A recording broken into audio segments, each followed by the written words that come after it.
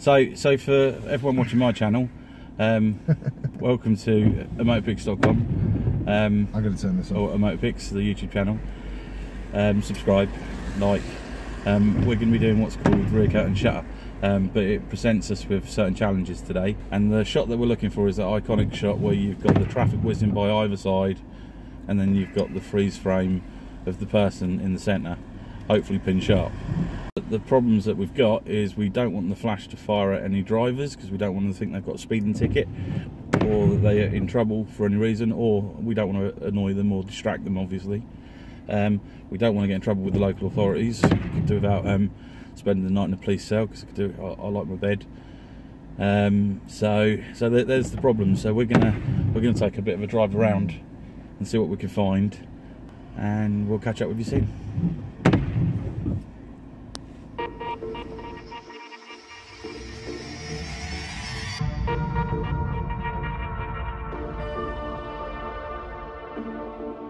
Okay, rear curtain sync. Well, the idea of this is to take a long exposure. Then, just as the shutter is about to close, your flash will fire. Anything that the flash hits will then be frozen on top of the motion image. The reason for this is it allows you to get the motion and the drama of the composition, yet have a calm element of a still amongst the same composition.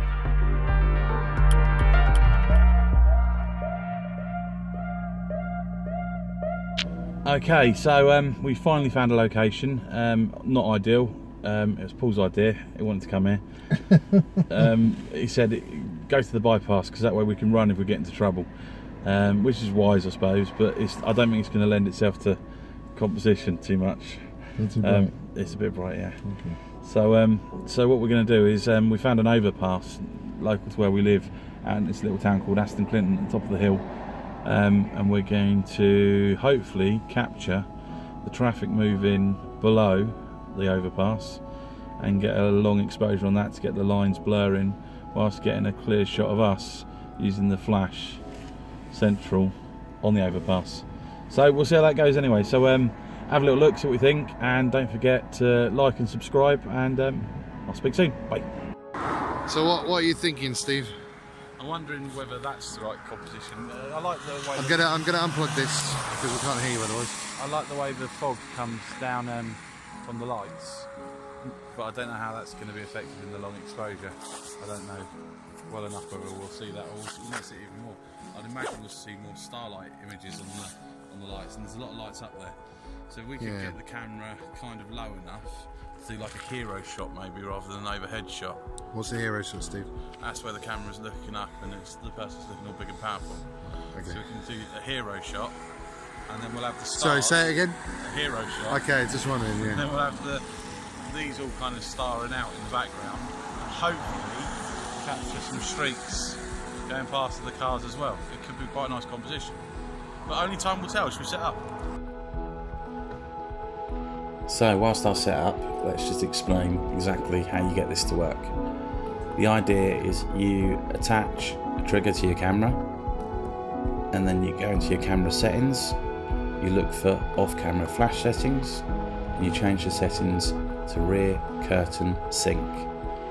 Once this is done, the flash will fire at the end of your long exposure rather than the standard beginning of your exposure. But so we find out this doesn't do rear curtain sync.